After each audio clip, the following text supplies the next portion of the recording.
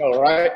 I was almost on. Uh, so last time we ended the meeting with, uh, you know, kind of just go around and saying, what is your why today? Like, what? Why are you doing the things you do? Why are you staying motivated, motivated and staying positive? And we'll just go kind of clock. We'll just go clockwise with with Ronnie starting. Uh, I, I, see you wanted me to go first because you know I was bringing that hotness, boy. I'm talking about hot kitchen, boy. Woo-hoo! Flipping them tacos, boy. Um, Hey, I like but, it. Uh, Are you looking good, man? Hey, man, I know. Man, I, I, did my I did my push up today. Um, got whooped, you know, with the you know with the with the golf clubs. But um, uh,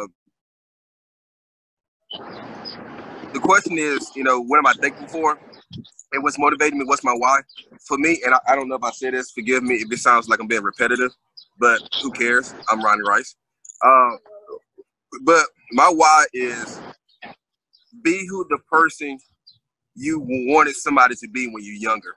And I know I'm pretty sure I butchered that up, but essentially, be who, be who you just needed when you were younger, whether you were 5, 10, 20, 25, 30 years old.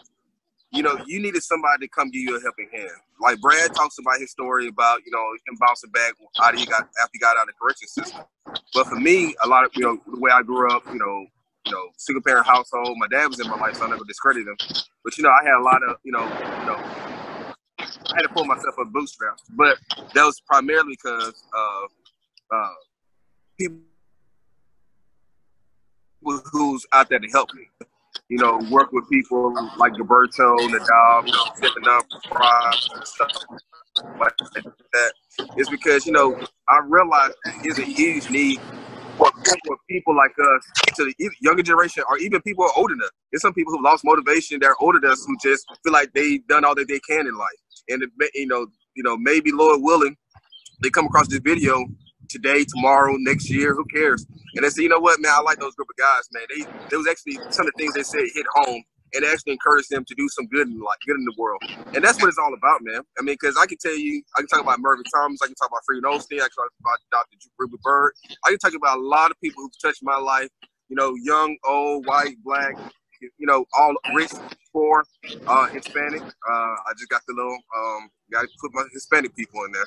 Um, but it's always, there's always somebody who's willing to give me a helping hand to show me the ropes. And one of those big people for me was Shinar, Alexander Shinar. I mean, he's always looked out for me. He's always giving me tidbits of, you know, right, if I were you, I'd probably do this and I wouldn't do that. So I think, you know, especially being at home, I think a lot of people might be trying to figure out, you know, what's their next paycheck? You know, uh, people own their business. Do they just shut their doors? And I think if they watch this video, uh, you know, whether it's from me, Brad, uh, Gilberto, it probably won't come from the dog. Uh, it might probably come from uh, Chewy, but I mean, uh, Jesus, uh, whatever you want to call you, bro. I'm sorry I'm butchering you up, bro. Uh, but uh, hopefully this is what their video will help out with. That's my why. So since you called out Chewy, why don't you go ahead and and and, and sling it back at him?